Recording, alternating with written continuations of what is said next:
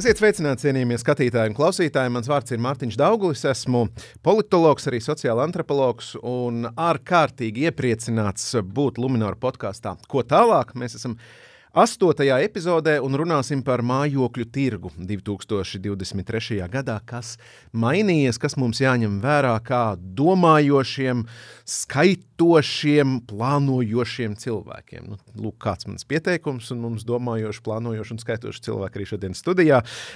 Luminor kreditēšanas vadītājs Baltijā Kaspars Lukačovs. Labdien! Labdien. Un Latvijas mājokļu tirzniecības nodaļas vadītāja Evīda Zenīte. Labdien! Labdien!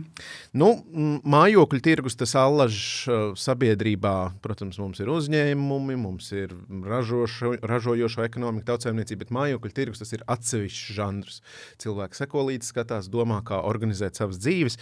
Tad kāds sāksim ar tādu ekrānu šāviņu, kā moderni saka, ja mēs uztaisam tādu fotografiju par mājokļu tirgu Latvijā šobrīd, nekustamo īpašumu īpašumu tirgu varbūt kopumā, kāds tas ir? Tur stagnējošs, augošs, kā mēs noraksturot šo bildi. Sāksim Nevī. Hmm, jā, es laikam teiktu, ka mājokļa tirgus šobrīd ir tāds nogaidošs, vai arī šajā ziemā bija nogaidošs. Uh, šobrīd martā jau var redzēt jau tādas nelielas atmodas pazīmes mājokļa tirgu. Nu, kā it kā parasti ir arī katru pavasari, bet nu šoreiz mēs to ļoti, ļoti gaidījām. Tā kā jā, es teiktu, nogaidošs ar nelielām atmodas pazīmēm. Bet tad var uzdot uzreiz papildu jautājumu, tā atmoda, viņa, nu, jūsu pieredzē, cik es saprotu, vairāk par desmit gadiem mājokļu tirgu? Kā, kā tas izskatās? Tā ir tā dabīgā pavasara atmoda, kad cilvēki nomet ziemas spriedzi un liek lietā savus līdzekļus un domā, vai, vai tas kaut kā sajiet kopā ar lielākiem procesiem? Kā, kā tas atmodas raksturojums varētu būt? Jā, parasti tā arī ir, ka ziemas laikā, teiksim, decembrī, janvārī, uh, ir tirgus tāds uh, stagnējošs, mazliet piemidzis, kā jau ziemas miegā, un pavasarī, jā, dabīgi atmostās, kaut gan šogad mēs to tiešām ļoti gaidījām, jo, ja mēs runājam par, par tirgu, droši vien runāsim arī tālāk, tad, piemēram, darījuma kritums janvārī pret decembri bija gan arī 40%. Tā kā, nu, tas pēdējo desmit gadu laikā bija tāds nepieredzēts kritums. Un tādēļ mēs šo martu un pavasari ļoti, ļoti gaidām. Tad nu, mēs pie šī jautājuma pēc tam vēl atgriezīsimies par to zemo punktu un, un kas tālāk, protams. Um, kas par no banku perspektīvas mājokļu tirgus bankas nodrošina to asinsriti, ja tos mm. līdzekļus tajā. Kā no jūsu puses izskatās? Jā. Es, es mazliet arī gribētu paturpināt to sezonalitātes punktu, jo, nu, ja mēs tiešām sakām, nu, kāpēc tad mājokļiem e, tas pavasaris ir bieži vien tāds aktīvāks, nu, tāpēc, ka sniegs nokūst, to iet apskatīties daudz savādāk, vairāk gaismas, e, redzēt, izbaudīt. Uh, nu, pēdējos gados uh, tā sajūta ir tāda, ka tas, tā sezonalitāte īsti nedarbojās, jo tad mums bija Covid, tad mums bija karš, uh, tagad teiksim, ir Eiribor, jeb šī finanšu uh, situācija. Un, un uh, neapšaubām nekustamo īpašumu tirgus visā pasaulē ļoti ātri reaģē uz visu, kas notiek apkārt. Nu, citreiz ir tāda sajūta, nu, vai tiešām kaut kas var, var paslīdēt garām mājokļu tirgumu maisaimniecībām? Atbildi ir Nē, nevar. Un, līdz ar to, to mēs ļoti nu, no bankas puses varējām izskaidrot un redzēt, cik daudz klientu piesakās šiem te, nu, pirkumiem un darījumiem attiecībā uz nekustamo īpašumu. Ja pagājušais gads bija tāds, ka vēl līdz gada vidum klients stāvēja rindā un cīnījās par vienu vai otru īpašumu, un uh, dabūja to, kurš to īpašumu tikai tad, kad solīja vairāk, kā varbūt kāds jau bija priekšā. Cits pircējs. Šobrīd, kā arī Evija minēja, tas ir tāds nogaidošs, nu, un nogaidošs no abām pusēm. Un ļoti interesanti, ka mums ir sajūta no, no bankas perspektīvas, skatoties un klausoties klientu stāstus, ka īpašumu pārdevēji uh, gaida to brīdi, kad viņi varēs varbūt pacelt cenu vai viņu nenolaist. Savukārt klienti gaida, nu, kad tā cena atkal varbūt tās kritīsies, ja mēs par nekustamo īpašumu runājam. Un tam visam komplektā vēl nāk tā, tā neziņa un neskaidrība par Eiriboru, kam mēs arī šodien vairāk pieskārsimies. Tad apusēji nogaidošs stāvoklis, tas ir svarīgi saprast, jo, ja viena puse gaida, tad otra ir tādās tā kā varas pozīcijās, bet šajā gadījumā varas pozīcijās nav neviens ne otrs, abi divi gaida, vai ne, kas notiks ar, ar, ar tirgu. Ir kaut kas jauns, kas iezīm, iezīmējas nekustamā īpašuma tendencēs 2020. Trešajā gadā, nu, ja mēs salīdzinām pret iepriekšējiem, nu, tas konteksts jau droši vien jauns, kas par runāšanas laikā es sapratu, ka mums ir pēc vairākiem gadiem pirmais nu, nosacīti normālais pavasaris, kad ir, kad ir patstāvīgi esošās krīzes fonā, kā karš, bet nav nekā jauna krīze atnākusi. Bet nu, kaut kas tāds jauns, kas parādās, kur, kur var gan īpašnieki, gan, gan topošie īpašnieki nu, ielūkoties. Nu, tas, ko mēs uh, redzam, tā, te noteikti jāizceļ būtu energoefektivitātes jautājums.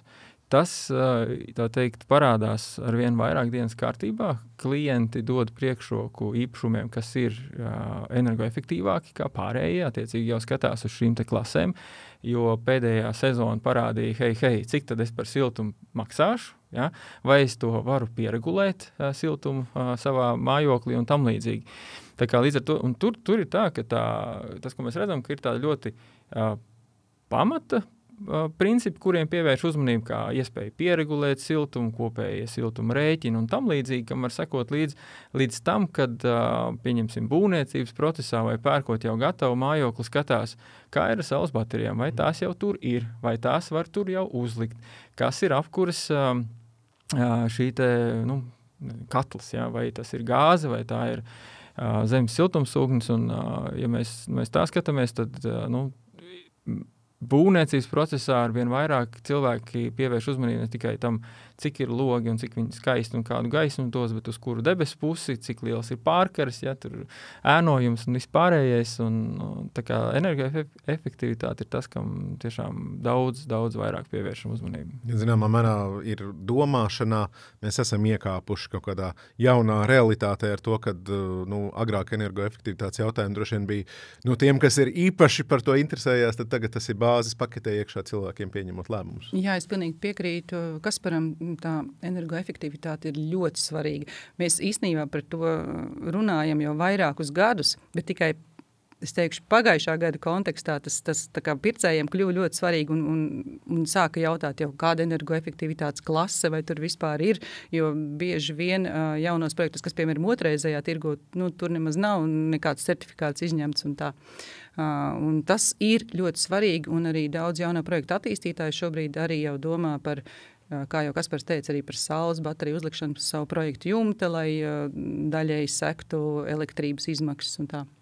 Vai vēl ir kaut kas tāds, kas nu, 2023. gadā iezīmēs kā jauns, nu, piemēram, tur dodas klients uz Latviju, ja, un, un viņš ir tajā segmentā, kuram interesē uzķert kaut ko, kaut kādu vilni, ko jūs viņam sakat? Grūti pateikt, tas gads ir tikko iesācies patiesībā, un, un, un, un šobrīd uh, cilvēki tikai tiešām sāk kaut ko domāt un meklēt. Man, man ir aizdomas, ka šis gads iezīmēsies ar to, ka varbūt nebūs tik liels pieprasījums jaunajiem, pēc jaunajiem projektiem. Nu, es domāju, ka gan jau pieprasījums būs, bet varbūt nebūs tik liels, kā tas bija iepriekšējos gados.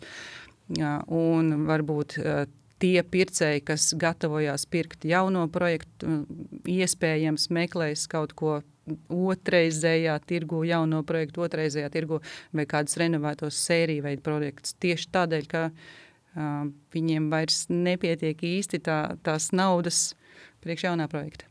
Mm -hmm. nu, par to mēs vēl Jā. parunāsim, par tiem pieejamiem līdzekļiem, kas ir. Bet nu, par to vēl par to piedāvājumu un pieprasījumu, kā to līdzsvaru šobrīd uh, raksturot. Vai visiem pietiek? Un, ja pietiek, un ja nepietiek, tad kāpēc?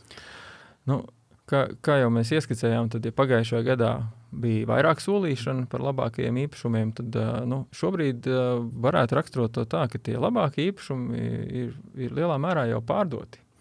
Un, ņemot vērā visas tās būvmateriālu cenu lielās svārstības un, un pieejamības problēmas, kas ir bijušas, arī to jauno projektu skaits, kuri tiek nodoti, nu, īsti neaug. Ja, tā kā mēs varbūt to vēlētos. Uh, Līdz ar to arī tas piedāvājums ir mazāks. Un uh, vēl tāda interesanta tendence, ko, ko mēs redzam, varbūt tās no Latvijas puses arī kāds izskatās, ka ja agrāk uh, faktiski jau būvniecības procesā, jau uzsākot būvniecību, liela daļa to dzīvokļu jau tika rezervēta. Mm. Faktiski darījums notika vēl būv, būvlaukumā. Fakt, ja? Un, šobrīd tā tendence ir mazinājusies, jo pašam būvniekam ir diezgan grūti panākt šo vienošanos ar klientu, jo tā cena var mainīties būvniecības procesā, lai to īpašumu pabeigtu.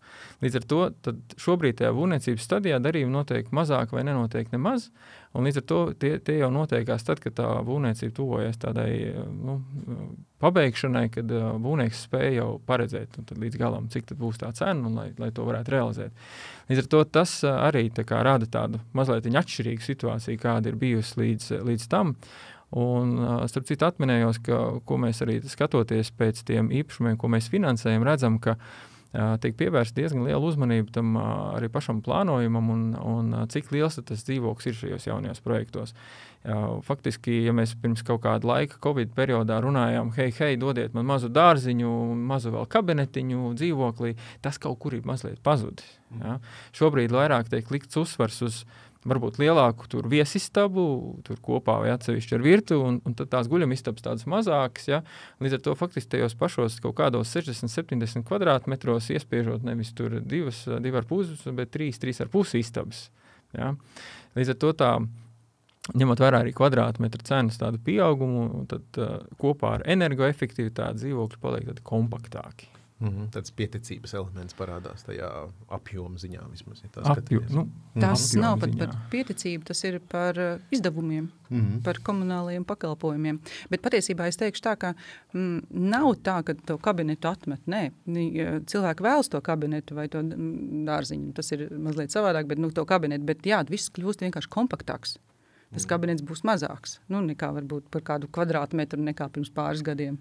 Es atceros, uh, sen, sen es biju Amerikas Savienotajās valstīs, un tur teica, ka nu, labs, labs darījums Ņujorkā ir, ka tu dabūni skapja lieluma dzīvokli, kur tu pats dzīvo skapī, un, un, un viss ir laimīgi un apmierināti. Vienkārši tās mm. cenas tik, tik, tik augstas tajā vietā un pieprasījums. Arī ir tādi dzīvoklīši, tādi 16 kvadrātmetru centrā ir, jā.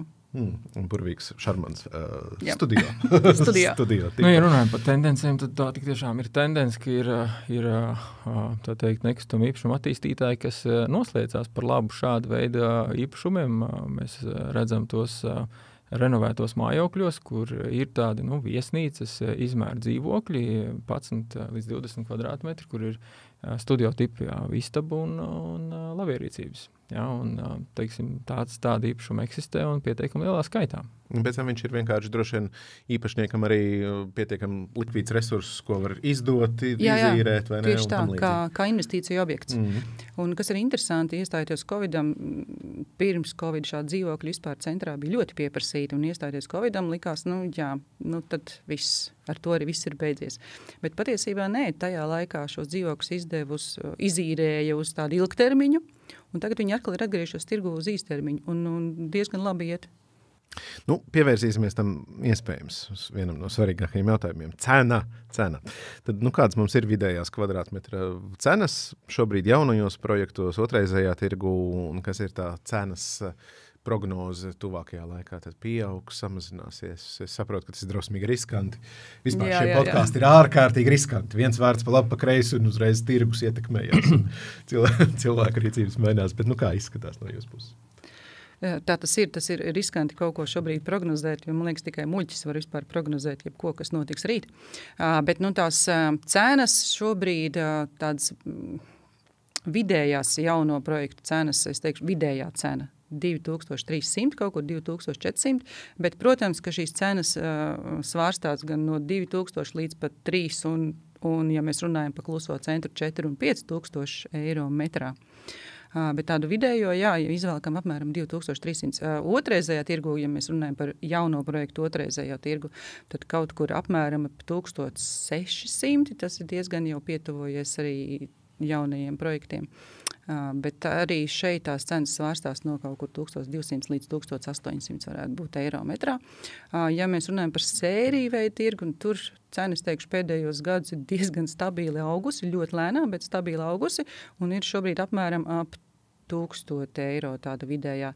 Ies, Varētu būt, ka pa ziemu ir mazliet pakritusies kaut kur mazliet zem tūkstoša, bet nu, patiesībā tāda apmēram ir vidējā cena. Mm -hmm. Kā no bankas perspektīvas? Jā, es teikt, piefiksēju visus ciparus un, un gatavojoties šodienai no savas puses, tad reālajos darījumos, ko arī mēs redzam un, un, un finansējam, tad faktiski jā, tā arī ir kā, kā, kā, kā Latvijā pusi jau ir uh, kopsavilkusi.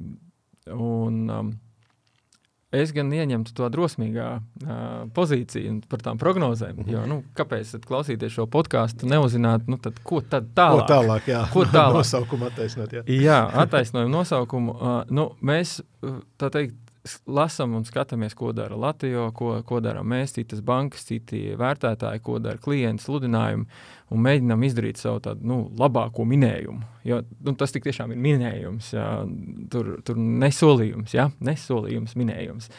Un, uh, mūsu redzējums ir tāds, ka mēs neredzam īsti pamatojumu, ka nekustamā īpašuma cenas uh, varētu kristies.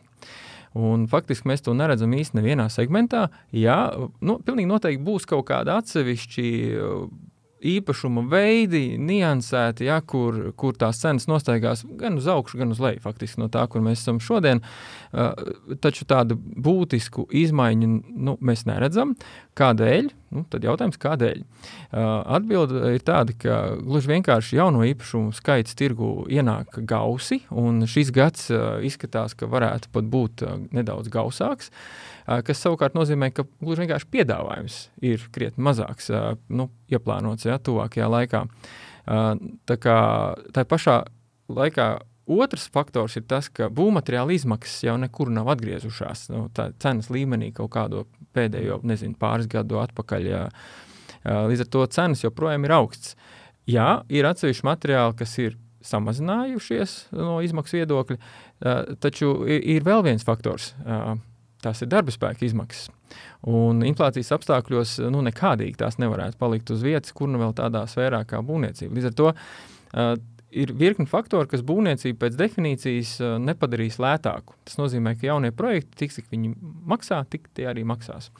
Uh, ņemot vērā, ka jauno piedāvājumu uh, būs mazāk vai maz, uh, otrreizējiem tirgumam šis ir laiks, kurā turpināt aktīvi darboties arī kolēģi minēja, ka tas, tur ir sagaidāms neliels pieaugums. Un, nu, kāpēc gan ne? Ja jau īpašumu trūkst, jaunu mājokli iegādāties ir vajag, nu, tad attiecīgi tas ir otrreizējs tirgus. Līdz ar to tas arī tur to cenu uh, izbalansē.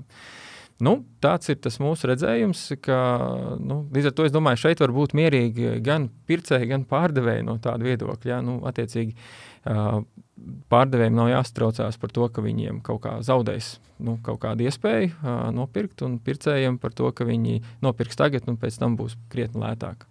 Bet tad, ja es pareizi saprotu, tas, tas gan pārdevēja, gan pircēja pusē, tas aktivitātes līmenis nu, nosacīts saglabājās pietiekami augsts, tikai tas fokus mainās uz otrreizējo tirgu, vai ne? Tie jaunie projekti tur vairāk vai mazāk. Kā tur ir? Nu, vienkārši tirgus ir tik liels, cik viņš ir. Ja nav pieejami jaunie projekti, tad Tad mm. nākamais ir šis jauno projektu otrreizējais tirgus, un arī uh, pircējiem, cik nu viņiem tās naudas ir, tik ir, ko viņi var atļauties, vai nu jauno projektu, vai jauno projektu otrreizējā tirgu, vai sēriju veida.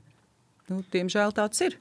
Man šķiet, ka jums Latvijā ir tas uh, nu, uzskaiti, ka jūs skatāties, cik ilgi laiks paiet no brīža, kad Jā. tas sludinājums, man liekas, tas ir ļoti raksturojoši, varbūt to varam ie, iepazīstināt mūsu klausītājus. Uh, Jā, mums ir tāda statistika, bet es teikšu, tā ir tāda mūsu sajūtu statistika, cik ilgs laiks paiet no sludinājuma ievietošanas kādā sludinājuma portālā līdz brīdim, kad viņš tiek nopirkts.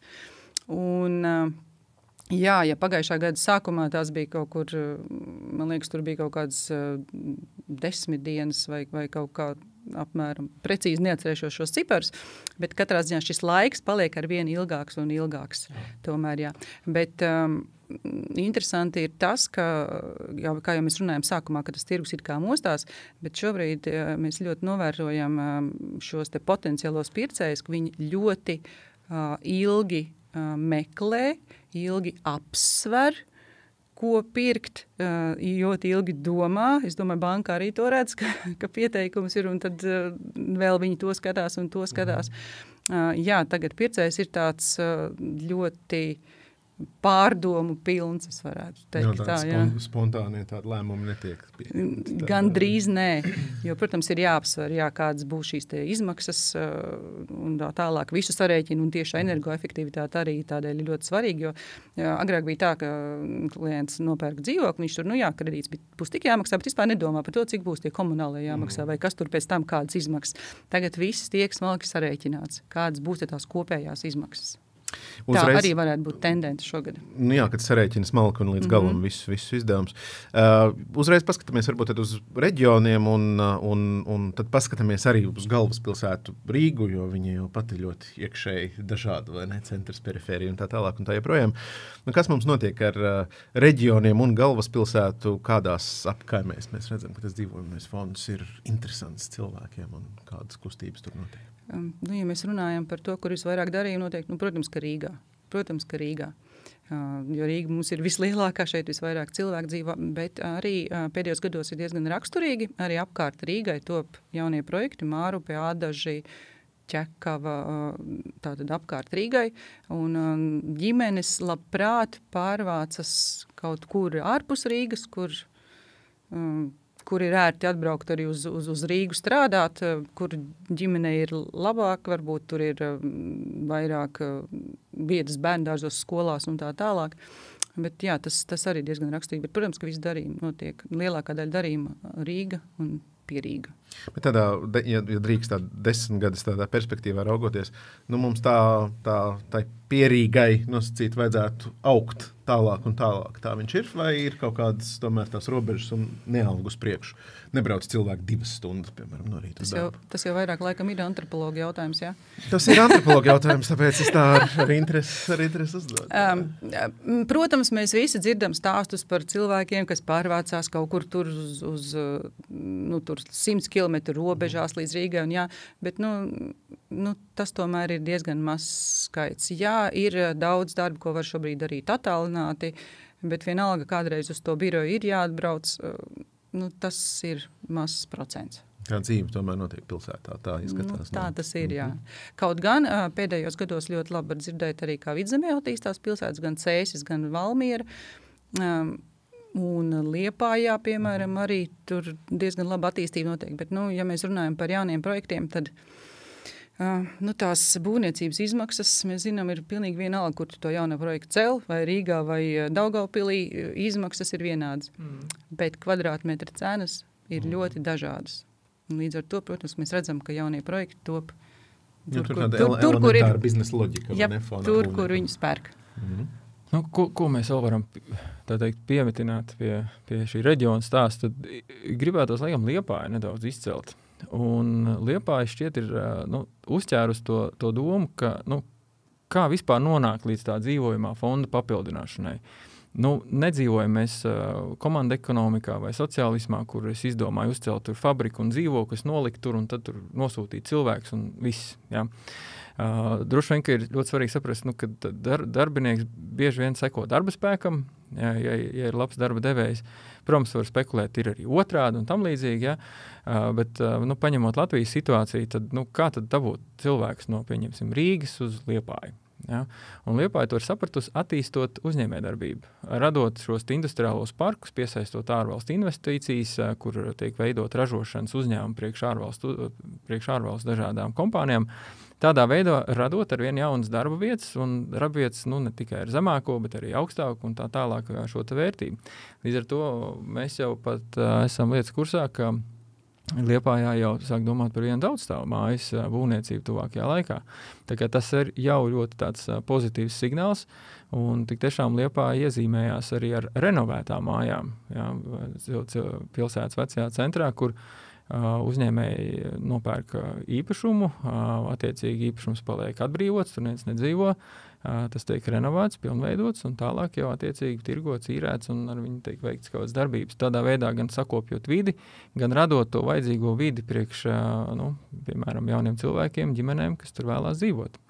Un tik tiešām uz liepāju mēdz cilvēki arvien vairāk pārcelties. Jā, tas jaunais, jaunais virziens ir liepāja, to mēs sapratām. Tā izklausās, jā. Agrāk bija cēsis. A, kur lietuviešiem tur?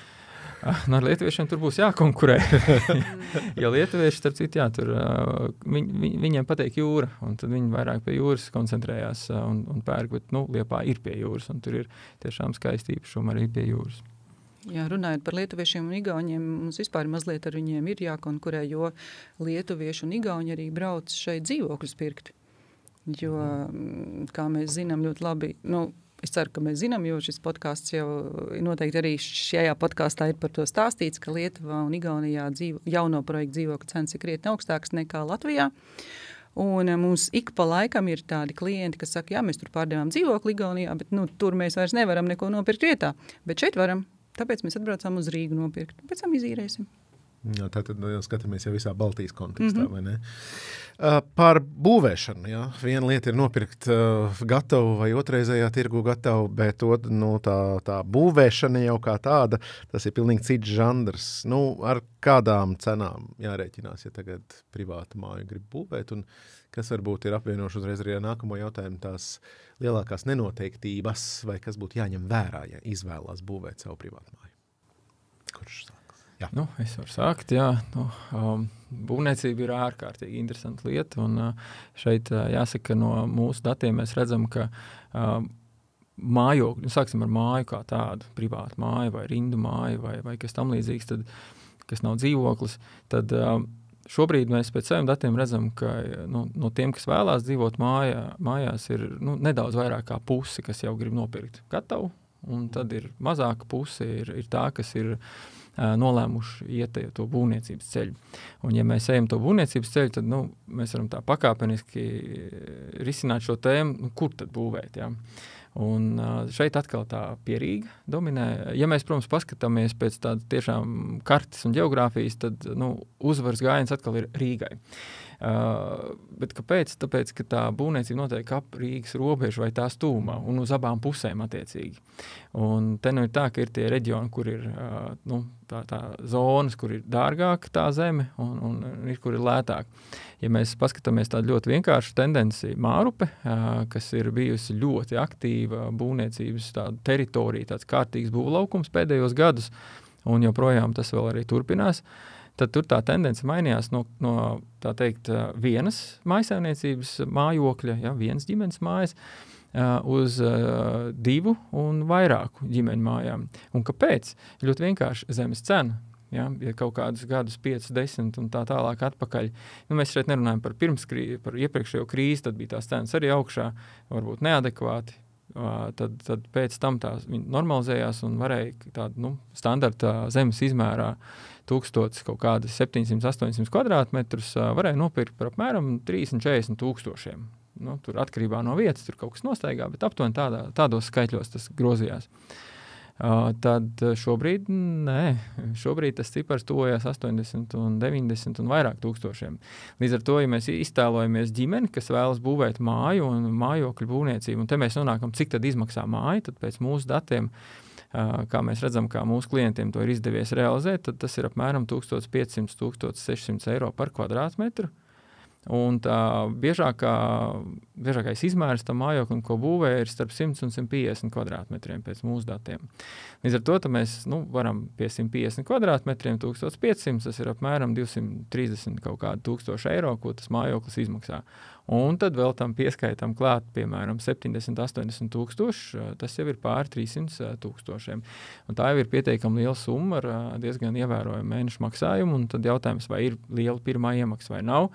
Um, Altuma garantija, jeb, jeb šo atbalstu var izmantot līdz 250 tūkstošiem. Tur tāda diezgan liela tā jau izlemšana, uh, izlemšana ir, ir, ir vietā. Un, un tāpēc tās uh, nu, dviņu mājas ir parādījušās vairāk, kuras Protams, ka nu, parasti neceļ tas, kas tur dzīvos, bieži vien tas ir kāds jau uh, uzņēmējs. Jo nu, tad jau tās izmaksas sadalās uz divi ja, par šo zemes pleķīti, kas tur katrai uh, mājai paliek. Jā, starp citu, privāti mājas arī ir uh, palikušas kompaktākas. Un, un, un es mazliet papētīju statistiku pagājušajā gadā. Gan drīz 80% privātu māju, kas ir nopirkts, ir bijuši no 50 līdz 150 kvadrātmetriem. Tā kā, jā, jā, jā, tā mhm. kā kompaktāks. Jā. Jā, pie privātu mājām arī šīs rindu mājas, kas varbūt, ko varbūt citi uzskatīs par dzīvokļiem, bet nu, patiesībā tā ir tāda pilsētnieka māja ar savu sapni par mazu dārziņu, kur nav daudz jāpļauj, bet tomēr bišķiņi ir zemīte. tā kā, nu, jā.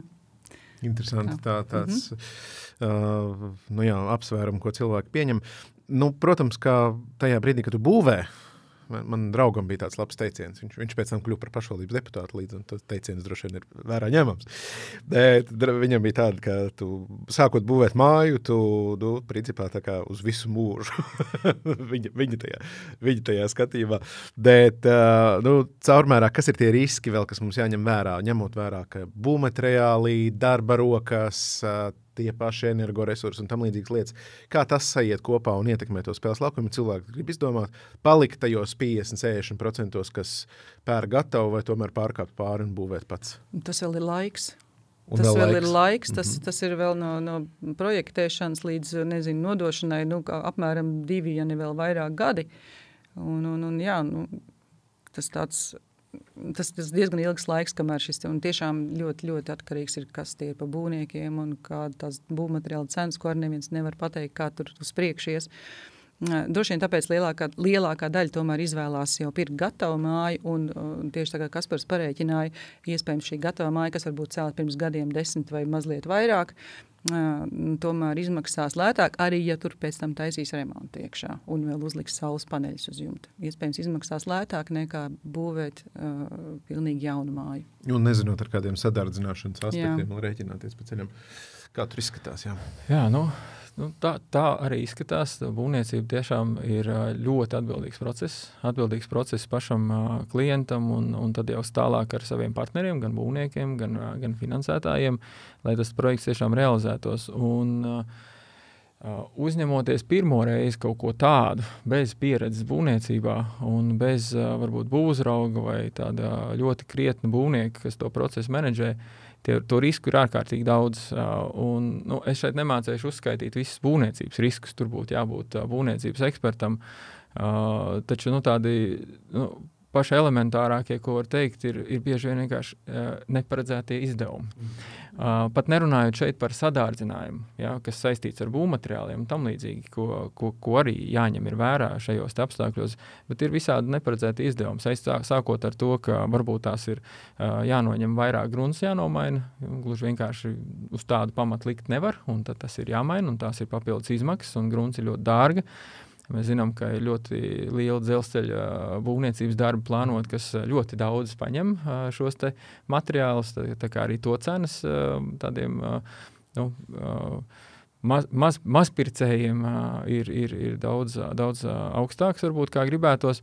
Līdz ar to ir, ir jāņem vērā, un, un tāpēc ir ļoti svarīgi plānot. Un tas, ko mēs iesakām, un, un vienmēr pat pārliecinamies, pat neiesakām. Tas ir drīzāk tāda pārliecināšanās jau, kad klients gatavo tāmi.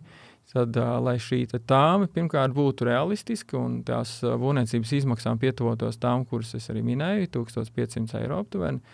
Uh, un tam visam ir iekļauts vai pa virsmu vēl arī uh, kārtīgs rezerves fonds, uh, kas varētu būt nu, 15. Tas ir absolūts minimums, uh, kam būtu jābūt uh, tiem būtu jābūt vismaz 20%, kurus vajadzības gadījumā, ne obligāti, bet vajadzības gadījumā varētu izmantot, ja nu kaut kādas izmaksas parādās.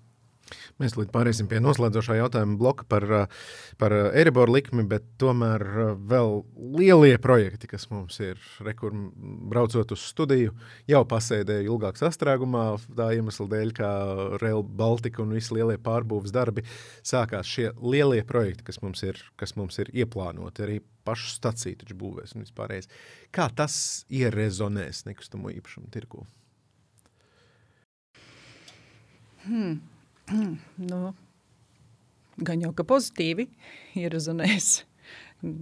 Es tā domāju, jā, jebkuri šādi projekti un attīstīt infrastruktūru, jo tā ir infrastruktūra, dod tikai pozitīvu rezultātu. Jautājums ir, kad tas viss nonāks pie kaut kāda rezultāta. Tas jau ir cits jautājums, kad mēs vēl diezgan ilgi dzīvosim šādā būvlaukumā ar sastrēgumiem un tā tālāk. Un varbūt tas arī ir viens no iemesliem, kāpēc cilvēki izvēlas kā pārcelties tālāk no Rīgas centra dzīvot, lai viņiem nebūtu jāsēž sastrēgumos, ja viņi arī var pastrādāt attālināti, piemēram. Uh, jā, te mēs īstenībā mazliet arī um, par Rīgas centru varam parunāt, kas mums tāds diezgan tukšs un bēdīgs izskatās. Gribētos, lai cilvēki atgriežas, bet uh, es baidos, ka viņi sāks atgriezties tiešām tad, kad visi šie lielie būvlaukumi būs, būvdarbi būs beigušies, un tad būs mierīgāka dzīve Rīgas centrā. Ja tur varētu būt tāds interesants pārvēlienu elements, ka nu, tūlīt, tūlīt būs gatavs. Nu, ja, kad, kad? Es ticu, ka kaut kad būs. Ja. Jā, kad stacija un viss pārējais būs gatavs, jauns un smags un noplēsīs plēvīti, nu, tad jau tā vide būs diezgan interesanta un sakārtota. Nu, stacija būs noteikti viens no tiem faktoriem, kas veidos vidi. Mm -hmm. Es domāju, ka šeit ļoti svarīgi ir, kā kopumā Rīga kā pilsēta attīstīsies, jo uh, nu, mēs no Lunčūska puses mēs darbojamies Baltijas uh, robežās un skatāmies, un, un, un esam aktīvi visos trijos tirgos. Mēs redzam, ka Rīga ir ārkārtīgi iepalikusi, un, un tieši tā centra zona ir tiešām nu, ļoti izmirusi. Un, Un šeit pietrūkst lietas, ko tad ģimenei darīt, kā nokļūt vienā, otrā, trešajā vietā. Pat, pat tā nu, vidas tīrība, gaišums un, un vispārējais. Jo, nu, kas tad mums ir? Mums ir nu, ielas un sastrēgumi. Jā, lielā mērā mums to objektu pietrūkst, un, un tā vide nu, tikai pēdējos gados mums parādās veloceliņi, kaut kādas atsevišķas vietas, kur apsēsties, mēs parkos sākam investēt. Tikai tur daudz droši vien darāms ir, un tas jau ir. Uh, pilsētas liela atbildība, un, un tad arī attīstīsies tālāk. Mazliet pieskaroties tam būvniecības momentam, kā tas Real Baltica varētu ietekmēt. Protams, ļoti grūti to tā, nu, no mūsu skatu punkta komentēt, taču nu, tā mazliet padomājot, betons, smilts, grants, metāls tiks ļoti plaši izmantots. Un, nu, šis ir tiešām vērienīgs projekts, gan stacijas, gan, gan dzelzceļa stiedzes pārvade un vispārējais.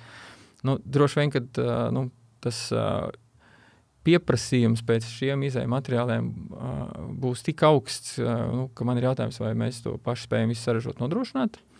Un līdz ar to gluži vienkārši, nu, ja pēc kaut kā ir liels pieprasījums, tam seko nedaudz cenas pieaugums. Jā. Tad tas nozīmē, ka attiecīgi gan jauno projektu būvniekiem, gan, gan uh, privātmāju būvniekiem jārēķinās, ka arī ar šo uh, materiālu izcenojumiem varētu būt uh, izaicinājumi tuvākajā laikā. Tad, ja es sētā gribēju agrāk ielikt sliedes, tad tagad visticamāk es to nevarēšu atļauties. Koka.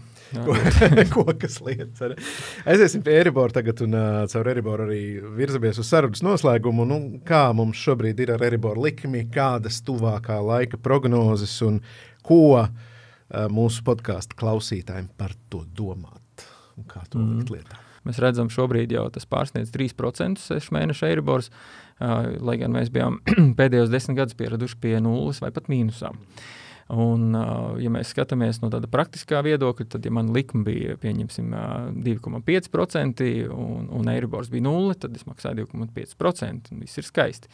Un tagad pēkšņi man likme ir 5,5%, un tas ir vairāk kā divreiz vairāk. Ja? Tas nozīmē, ka mans mēneša maksājums arī ir pieaudzis nevis par 10, 20, bet varbūt par 100, 200 eiro. Un tas ir, nu, spēlē, protams, milzīgi ietekmi uz uh, maisaimniecības pieejamiem līdzekļiem. Uh, Um, ja mēs runājam, tad nu, te ir divi faktori. Ja. Viens ir, nu, tad kā tad ar visiem mums, kam jau ir šis kredīts, cik mums būtu jābūt satrauktiem un, un tā. Tad uh, jāņem vērā, ka pēc uh, tās lielās finanšu krīzes banku sektorā kreditēšana tika pārveidota un, un uh, tie visi teikt, kredīta riska principi ievērot tā, lai šādas krīzes klienti varētu pārvarēt. Un arī šobrīd mēs redzam, ka mūsu klientiem ar maksātspēju viss ir kārtībā. Mēs tur redzam arī citu banku klientu lokā. Faktiski mēs tiekam visi galā. Ja? Tā ir noteikti labā ziņa, un nu, pozitīvā ziņa savukārt, nu, cik ilgi. Ja? Tas viss, nu, prognozes, protams, ir dažādas, un mēs redzam, ļoti daudz notikumu joprojām notiek visapkārt, arī finanšu sfērā. Uh, paredzēt ļoti precīzi nevar. Bet, nu, balstoties uz tām projekcijām, ko mēs redzam, un arī uz mūsu ekonomistu redzējumu, nu, ka šogad mēs varētu sasniegt to pīķi, kas varētu būt uh, robežās starp 3,3 un uh, 4%. Ja? Uh, un tad uh, pakāpeniski tam vajadzētu sākt uh, kristies lejā, ņemot vērā notikumus plašāk, uh, plašāk ekonomikās uh, Eiropas uh, zonām. Līdz ar to tad, nu, potenciāli nu, mēs redzam sauli tuneļa galā. Būtiski atzīme - nulle nebūs Eiriboram. Tas var būt tāds ziņa esošiem klientiem. Jauniem klientiem, principā, ziņa visa tā pati, plus jāņem vērā, ka šobrīd daļa klientu, kuri varbūt vakar vēl varēja aizņemties, šodien vairs nevar aizņemties tik lielu summu, kā gribēja. Jo gluži vienkārši mēneša maksājums jau vakar pie nezinu, summas X Pieauds. bija 100 eiro, tagad tas ir jau gandrīz 200 eiro. Un tad, attiecīgi, skatoties klienta ienākumus un maksātspēju, uh, ir daļa klientu, kuri vairs nevar to īpašumu iegādāties par 100 tūkstošiem, var tikai par 80 lai varētu to mēnešu maksājumu, kāds šobrīd sanāk, veiksmīgi kā, izpildīt. Un līdz ar to, tad, nu, ko te darīt, tad nu, šeit, protams, varianti ir visdažādākie. Viens ir nu, turpināt krāt, kas atkal paņem laiku, attiecīgi lielāku šo pirmo iemaksu. Cits variants ir.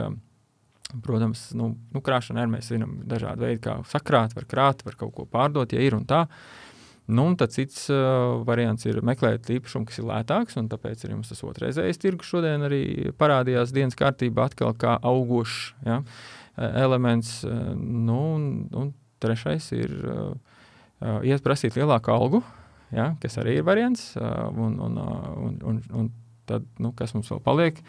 Paliek gaidīt vēl, ja? Ceturtais vēl ir īrēt. Un vēl ir īrēt, jā. Īrēt, jā. Un tad, tad gaidīt. Tad gaidīt, jā. jā. Um, jā.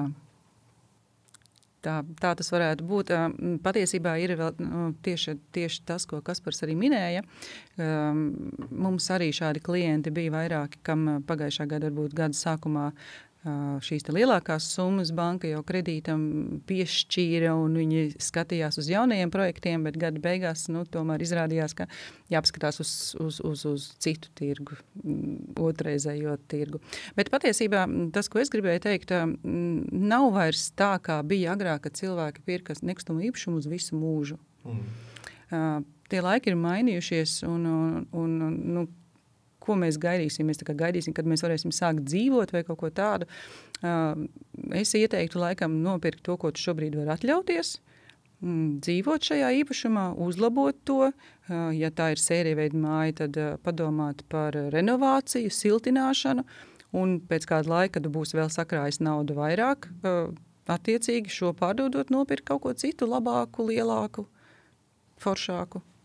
Jā, tad, zināmā mērā, vēl vairāk aizējām atpakaļ pie tā, kā rēķinot un domājot, mēs varam mm. sākt ar mazumiņu un ar to arī uh, ieaugt Jā. tajā savā dzīves sapnī, kas ir. Kas ir Jā, nu, tie, tas ir tāds teikt, mazo solīšu veikšana. Jā. Sākumā -hmm. es nopērku mazāk dzīvokli, augu ģimene, augu darbs, ienākumi, un, ja viss ir veiksmīgi, es pērku nākamo un tā tālāk.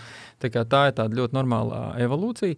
No, no bankas puses man gan te jāpiebilst maz, maz niansīt, nu, kam tomēr ir jāpievērš uzmanība, ka nu, pērkot ir īpašumu, kas ir mazāks, nu, varbūt ne tas sapņu īpašums, nu, jāapskatās, nu, tad kā tad es to īpašumu varēšu pēc tam pārdot. Tas, protams, tas ir būtiski. Protams. Vieta, kvalitāte, tomēr tam, tam ir jā, jāpievērš uzmanība. Jo lētāks nedrīkstētu nozīmēt nu, būtiski sliktāks. Mazāks, jā, bet būtiski sliktāks noteikti, ka nē.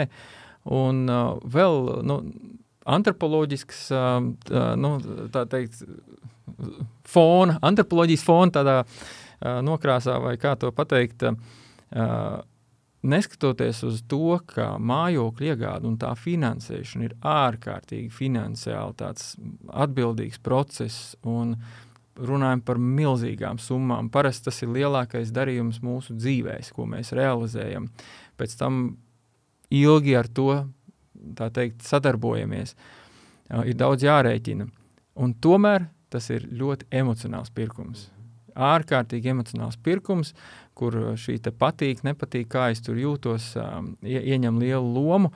Un, uh, tāpēc no bankas puses uh, aicinām divas lietas. Vienmēr rēķināt un, un saglabāt to, un arī nepazaudēt to emociju. Jo arī tīri aprēķinātā vietā un dzīvojot tur, kur man nepatīk, Būs tas ir ārkārtīgi grūti. Mm. Tas ir ārkārtīgi grūti, tāpēc ir svarīgi pirkt to, kas patīk, un to, ko es varu atļauties.